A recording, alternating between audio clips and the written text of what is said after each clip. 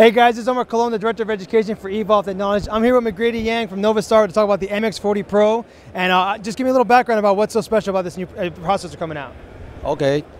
This is our 4K processor MX40 Pro released recently in this year and it works very well with our new software, VMP software. For this 4K processor, it has all the 4K inputs and it has the 20 ports outputs and also have the fiber outputs. By working with our new software, VMP software, it has the advanced features for the color correction, 3D LUTs, and uh, curves. So by doing that, it can have a very good color matching for your LED screen.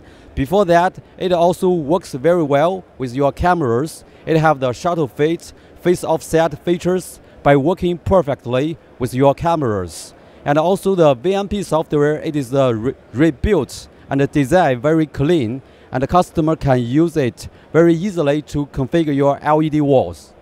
Yeah, I agree. I'm a personal fan of the new software that came out. It was very easy, very intuitive. I like that it has 20 outputs going out and it was four fibers, right? Four fibers to come out of this. Yeah. I like that it's 4K and you guys have kind of gotten this real good mix where you're mixing the, the need for the XR stage, right, yes. with the LED side and the camera side. Yes. So you guys have thought about both, put them under one umbrella and really made it work like that with the refresh rates, with the colors, with the curvature. You guys have just, you guys have it all in one box now and it's, it's, it's to me, it was refreshing when I, got to set it up myself and got to play with it a little bit. I really liked it a lot. So I, am a big fan of this product. I hope you guys get to see more of this. Uh, if you haven't seen this, I recommend you come to the office, get a demo with us, uh, get it out, whatever. But uh, McGrady, thanks so much for talking to me, and I appreciate you being here. You're welcome. Thank, Thank you. you. See you guys on the next one.